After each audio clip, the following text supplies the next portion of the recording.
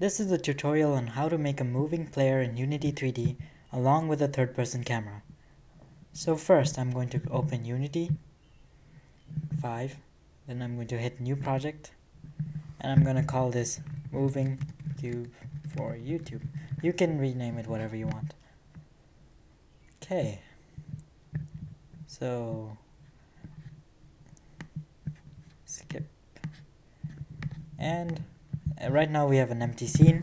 You can move around the scene uh, by scrolling up and down with the middle mouse um, wheel or with the by swiping up and down two fingers on your if you have a Mac trackpad.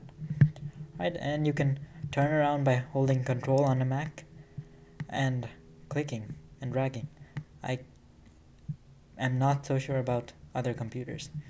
Okay so we're going to create an empty scene first.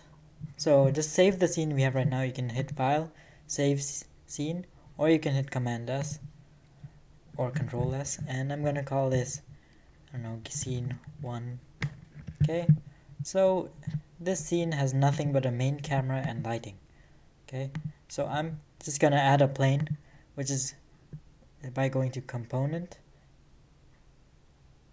or game object, my mistake, 3D and plane. Alright, so we have a plane right here. I'm going to reset the position. You can set this to 0, 0, 0 manually or you can hit this and hit reset. It's always a good habit to have things resetted. Okay, so you have this plane. Now I'm gonna add our player, which will be a cube for the sake of the tutorial. You could import your own model, of course, but again, so I'm gonna reset this too hit reset. And as you can see it's slightly below the plane so I'm going to raise the y value up. You can drag the y like that. You can move the cube up like that. Or you can just manually change the y. To 2.5 I'm gonna be super safe that it's not touching not inside the ground somehow so I'm gonna make it 0.501 you can't even notice the, the difference. There so we have a cube and now I'm going to add now if we look at the game view, view this is what it looks like. And as you can see we're pretty far away from um, the cube. So I'm gonna move the camera which is located here closer. You can just move it like that. And you can see in the camera preview down here uh, where it is roughly. And I'm gonna move it closer and up a little bit. And uh, here I'll angle it down a bit so down. Another way to do that would be to hit this button and then just pull it down. But I like to be precise so maybe 10 okay? Move it. And then uh, if I change the position like that it's gonna go up and down right? But I just want to move it forward perfectly forward. To, to do that change from local to global. As you can see the arrows have changed. And now it's in a global positioning it will I can move it forward. Now I'll switch back to local. Okay, so you can save what we have right now. If you hit play, you'll go to game mode and all you'll see is this. As you can see, everything is white, so it's a little bit hard to make out the player from the ground. So I'm going to add some texture to it, or coloring, you know. So I'm, to do that, I'm going to go to Google Chrome and whatever browser, of course, and just look up an image. So I don't know, uh, texture, seamless. It doesn't really matter. It doesn't have to be that perfect for this tutorial. So I'm just gonna open this one and drag this in my desktop. In other words, save it.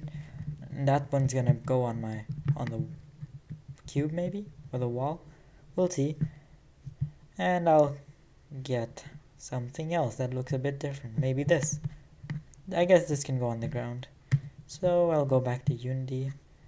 And to use these, all you do is just drag them in, like that, into the assets.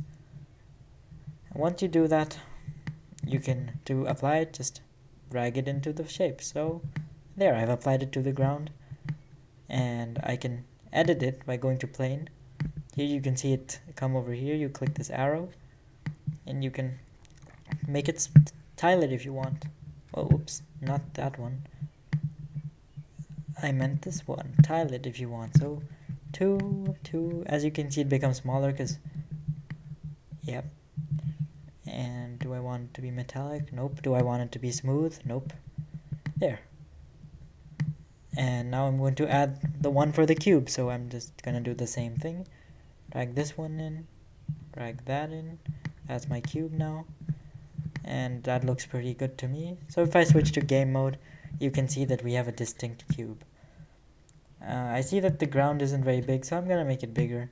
To change the scale of the ground, I'm gonna make it, uh, just double it in size, not Y, because just, you see, I'm doubled the X width and doubled the Z width, and now I've double the plane. I'm gonna keep on increasing it. As you can see, as I increase it, this becomes more and more big and blurry, so you're gonna need to tile it more. I'm gonna tile this to 10 by, oops, 10. Yeah, that looks pretty good. If I play it, of course nothing will happen, because now we need to do the scripting bit, which is the fun bit.